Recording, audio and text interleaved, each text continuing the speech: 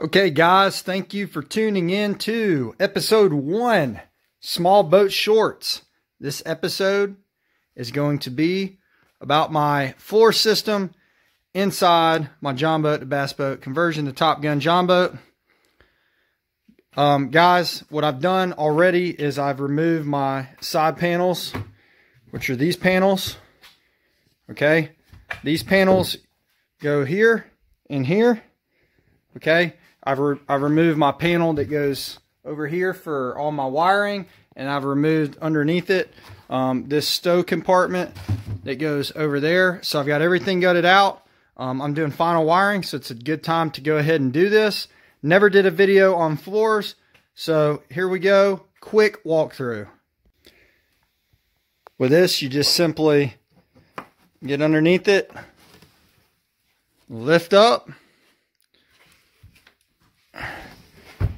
And this is 1132nd plywood that's coated in a layer of fiberglass resin and then painted in oil-based paint.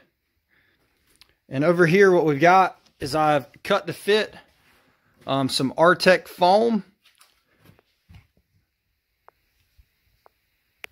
And what I've done here is I've doubled up half inch. Okay. I don't know if you could see that, but this is just flush with my rib.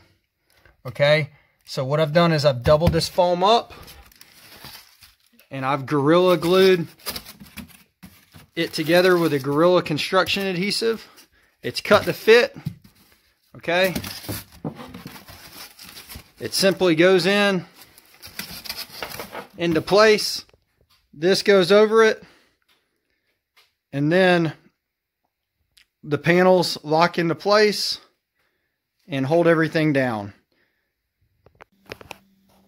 Okay, I've moved my wiring out of the way to show you that the back is very similar to the front. One thing I did back here was I actually used some uh, Gorilla tape, uh, similar to duct tape, to tape some foam pieces together while the glue set up, just to hold them in place temporarily. Little tip, so these are all glued, double foam. And back here, the lighting is better. You can really see how this sits me dead flush with my rib. So this floor system is just sitting on top of this. The foam adds buoyancy, okay? It also adds insulation. It also reduces vibration and noise inside the boat. And then also acts as a riser or spacer to support my 1132nd plywood, okay, that is my floor system. So it doesn't crack or sink or bow when I walk across any of this. It actually feels very, very good. And again, 1132nd plywood for my for my floor system is what I use to uh, ultimately save weight within the boat. Now here you'll notice the sheen this is all coated in fiberglass resin. And what I opted to do back here was just leave it unpainted. Um, after painting the front section, I realized there's no need to paint this because it's sealed in resin and you're never going to see it. So no need to paint. Um, but that is it, guys, with the floor system. I'd love to do a more in-depth video at some point on a future build.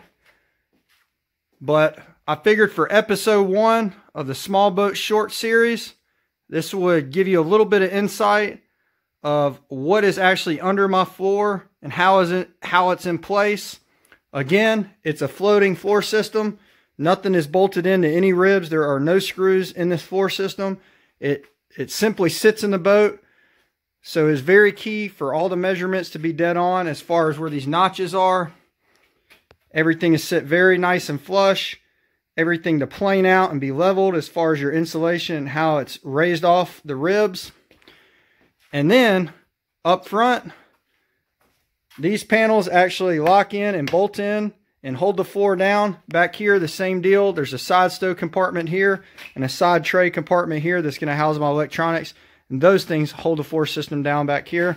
Thank you guys for watching episode one of Small Boat Shorts where we like our boats tiny and our videos short.